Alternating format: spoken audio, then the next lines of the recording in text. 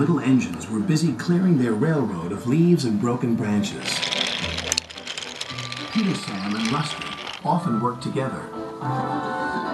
One day, Rusty helped Peter Sam to a water tower.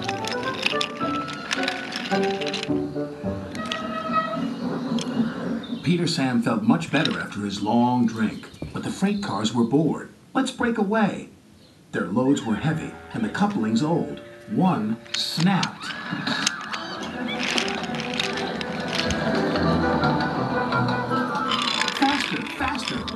Cars. A sign read slow steep bends and ravine ahead, but the silly cars never saw it. Then, it was too late.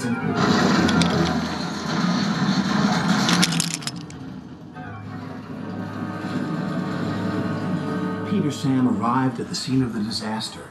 His driver sighed. This was our fault. We didn't secure them properly. We'll have to get help to pull them out. Sir Topham Hatt will be very annoyed. And he was. You will work in the yards until I can trust you again. Duncan was delighted with Peter Sam's dilemma. Fancy not securing your freight cars on a hill. They'll come back to spook you and your special funnel. Woo! And who's to say you're not afraid of ghosts? snapped Rusty. Ghosts?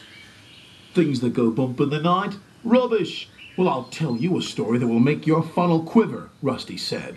A long time ago, a little engine was returning home. It was a misty, moonlit night. Suddenly, the engine lost control and plunged over the side into the swamps below.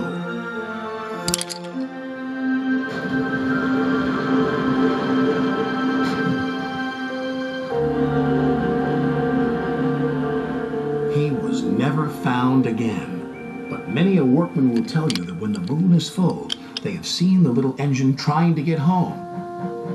But he never reaches the other side. So what do you think of that, Duncan? Rubbish, replied Duncan. Never mind him, Peter Sam. He'd be frightened if he really saw a ghost. This gave Peter Sam's driver an idea. Let's play a trick on Duncan. The next day he spoke to Duncan's driver and fireman, who agreed. We'll do it tonight. Duncan had to take coal cars to the slate mines and then bring cars back. Duncan's driver decided as part of the plan to cross the old iron bridge. Haunted bridge. Rubbish, snorted Duncan. It's as tame as a pet rabbit. But all the same, he kept thinking about Rusty's story. When dusk fell, he was keen to leave. If we don't go now, Skarloey will take my favorite place in the sheds. We have to collect our cars first, his driver replied. He could see their plan was working because Duncan was nervous. When night fell, they set off. Mists were rising around the old iron bridge. Duncan whistled, the sound echoed everywhere.